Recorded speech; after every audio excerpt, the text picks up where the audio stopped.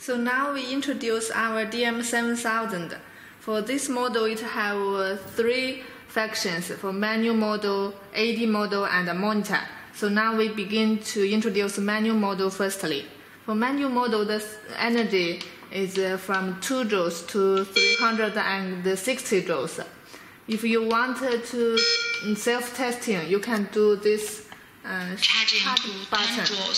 Stand clear. Press shock. and press the two red Stand button to shock shock. delivered. And you also can charge from Charging here. to 10 joules. Stand clear. Press shock. Press shock Shock button. delivered. And after you charge, if you do not need it, 10 joules. Stand clear. you can press Press this shock. arm. Shock cancelled. And here also have the sync model, sync on and sync off. And also can add the pacer function here, which is optional. For setting, you can press this button and do like this. Exist. Exist. And here also have SD card to record the information. Now we enter to AD model. Please change the path connects.